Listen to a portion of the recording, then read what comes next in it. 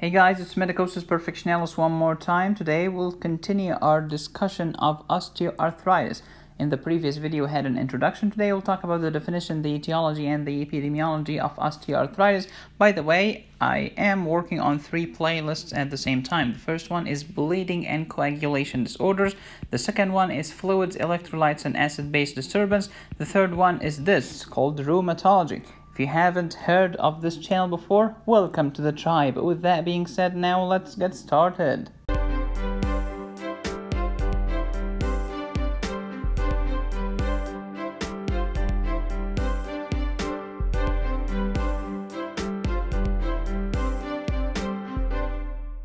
Can get a case and answer and explanation to the case sent to your email every week. And did I mention it's free? You can go to patreon.com forward slash medicosis and follow me there.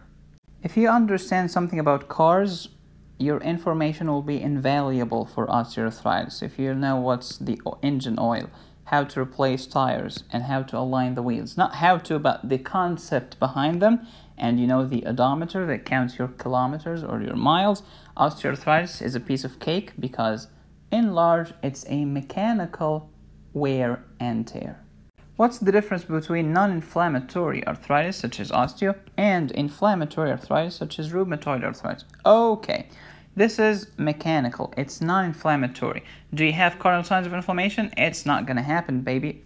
Okay, how about inflammatory? You will have the cardinal signs of inflammation redness, hotness, swelling, pain, loss of function, rubor, calor, tumor, dolor, functulence. If it's non inflammatory, it's mechanical, it's asymmetrical because you do not wear the tires on your car at the same rate. Some of them will wear faster than the others because it's a purely mechanical thing.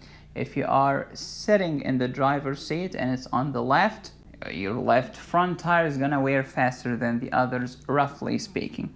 On the other hand, inflammatory arthritis is asymmetrical arthritis because autoantibodies do not discriminate. Mechanical problems are worse in the evening because you have been moving throughout the day, and at the end of the day, you have more movement, more movement, more movement, more wear and tear, more pain. Inflammatory arthritis is worse in the morning because as the day progresses, you are washing out the inflammatory debris, improving your symptoms. In non inflammatory arthritis, the, C, the ESR and CRP are within normal limit because it's a non-inflammatory arthritis.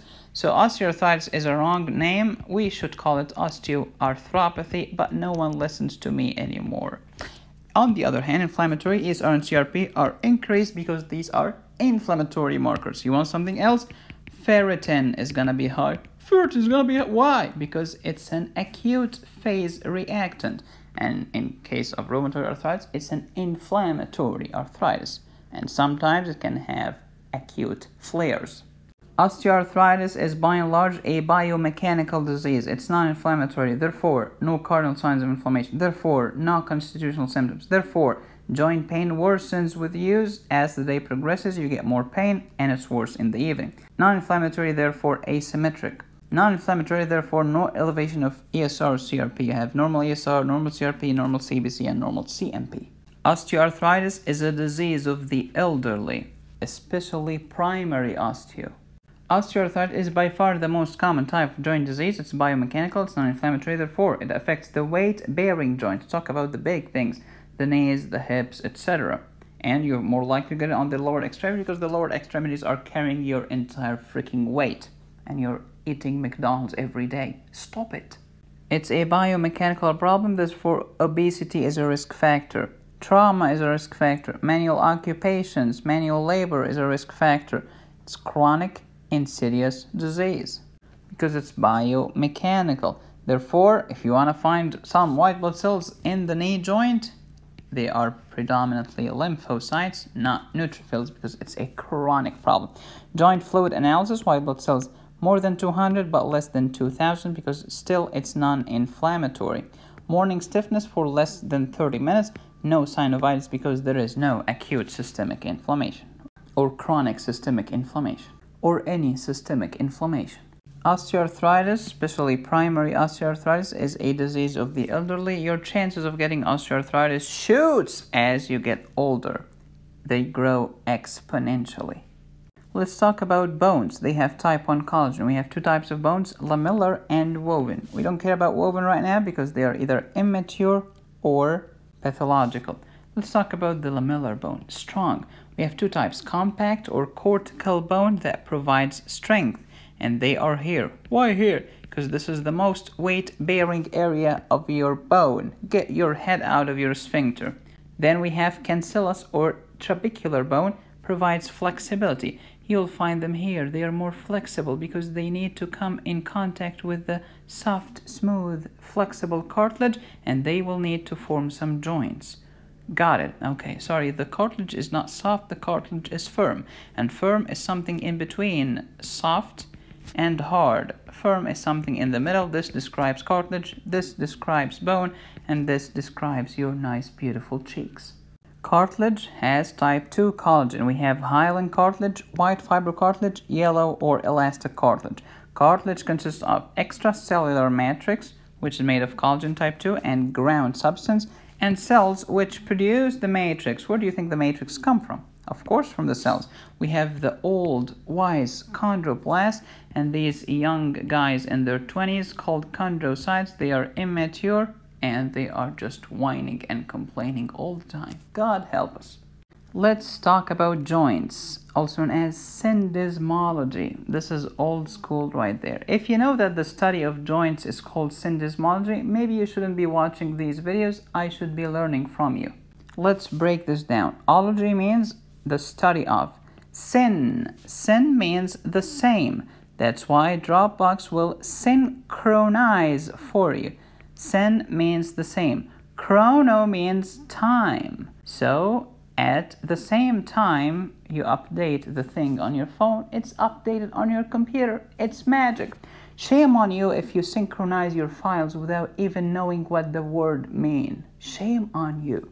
That's why when we discuss cardiology in the future, I'll tell you, I'll tell you about the positive chronotropic and the negative chronotropic. And by the way, diseases are divided into acute and chronic because chronic they take time.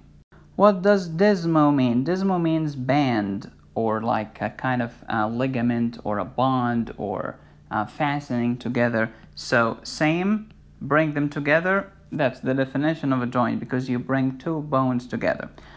Fibrous joints, fibrocartilaginous joints, and synovial joints. Fibrous provide no movement whatsoever. You can describe it as minimal, but I prefer none. We call them synarthroses, such as the sutures in your skull. Bone and bone, no cartilage in between, they are almost in contact. Okay, what does synarthroses mean? Okay, syn means the same, arthro means joint. So same joint because they are kind of a continuum or the same bone. They are connected. Next, we have fibrocartilaginous joints they provide limited movement, such as the pubic symphysis, formerly known as the symphysis pubis, intervertebral disc, costochondral junction, and sacroiliac junction. You have two bones and you have a nice tough elastic fibrocartilage in between, so they provide limited movement. We call this amphiarthrosis. Amphibian, like the amphibian that lives on land and in the sea. You move like this, you move like this. Amphi.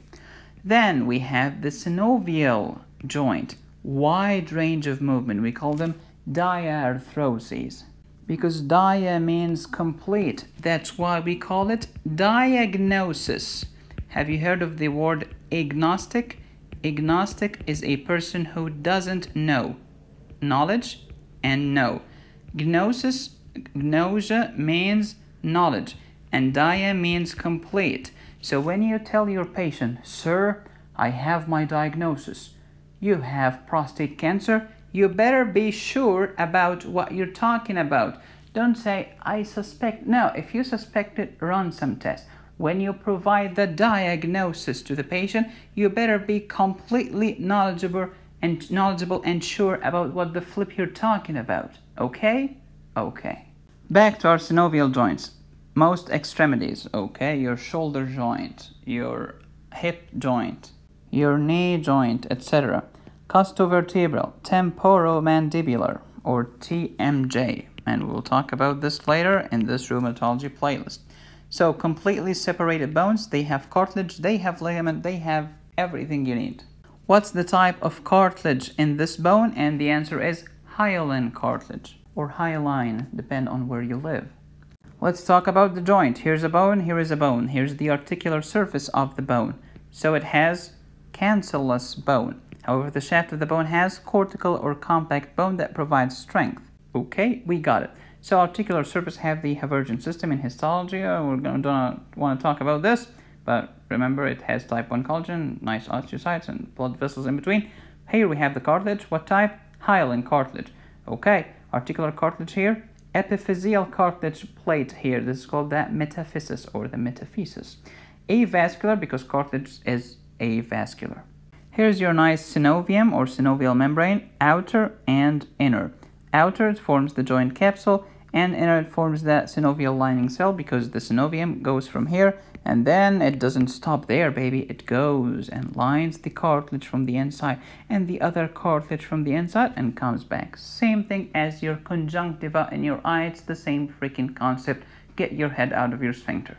Don't forget that the osteoblast they build up bone but the osteoclast they cut down bone. It's easier to tear down stuff than to build great civilizations. Osteoarthritis is the same freaking thing as degenerative joint disease. Don't be fooled. Just because it ends in an itis doesn't necessarily mean that's an inflammation. Good, it's not inflammatory. Degeneration of cartilage, breakdown of their matrix, their extracellular matrix, and causing structural and functional failure of the synovial joint. It's an intrinsic disease of cartilage where chondrocytes respond to biomechanical, biochemical, and mechanical stress leading to breakdown of their matrix. Okay, two definitions, who cares? Osteoarthritis is the most common joint disease. I do care about this, and it's a disease of the elderly. Don't ever forget that. What's the type of cartilage in the articular surface here? It's hyaline. What's the type of cartilage in the epiphyseal cartilage plate? It's also hyaline. Osteoarthritis is divided into primary osteo and secondary osteo. Primary osteo unknown cause. We call it idiopathic, the pathology of the idiots. We are idiots and we cannot figure out the pathology. So there's an unknown cause here. Secondary ulcers, uh, of course we know the cause. We are genius. Causes are several, include joint trauma, congenital defect, developmental defect, and occupational excess load. Construction workers, for example. What's the difference between congenital and developmental? Congenital, you're born with it. Developmental, while you grow up. Prior inflammatory arthritis, gout. Really? So I can start with an inflammatory arthritis and then end up with a secondary non-inflammatory arthritis? You bet. Also rheumatoid, lupus, and Sjogren metabolic disorders such as hemochromatosis, Paget disease of bone, not Paget disease of the nipple, not Paget disease of the vulva. Get your head out of, I'm sorry, ochronosis or alkaptonuria, homogentisic acid oxidase deficiency. The homogentisic acid accumulates in the connective tissue, causing darkening and hyperpigmentation of this tissue, and you can end up with a black nose. I'm not kidding. You know who is the guy who first discovered this disease? Who else? Rudolf Virchow, the famous guy who discovered the Virchow's triad of hypercoagulability, blood stasis, and endothelial damage, and the first guy who first called leukemia leukemia. He was a hard-working stud. Not those guys sitting in their mother's basement and collecting participation trophies. Next, endocrinal disorders, diabetes and acromegaly, collagen defects, Ehlers-Danlos, very stretchy skin. If this is your hand, it's very you can stretch the skin like this, and I'm not kidding. Osteonecrosis, also known as avascular necrosis, and osteoporosis, where your bone has many pores. This deal is about to end. Perfectionalis Ultimate Notebook plus 20 lymphoma cases plus 25 bleeding cases available on patreon.com forward slash medicosis for less than 5 bucks. Hurry, hurry guys, hurry up.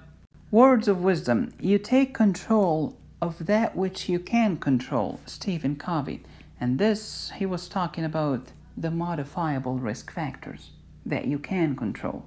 Osteoarthritis risk factors, non-modifiable, there's nothing that you can do about it, and modifiable, of course you can do a lot of stuff about it. Age, sex, and heredity.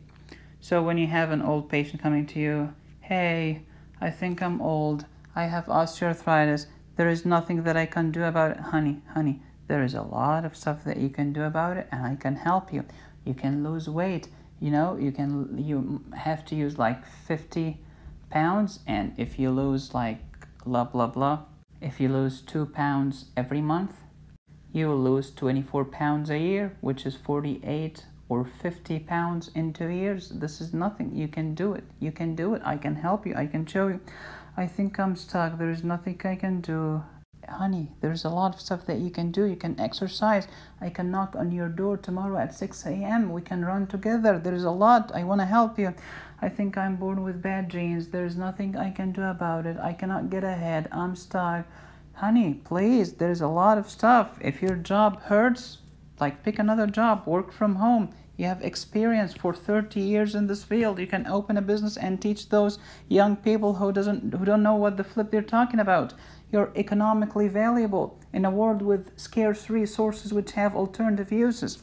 There is a lot that you can do. You can minimize trauma. You can stay away from malalignment.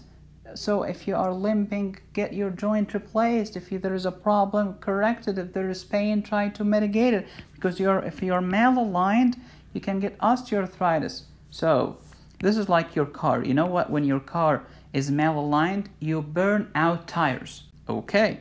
And if your joints are malaligned, they get osteoarthritis, you degenerate them. Same freaking concept.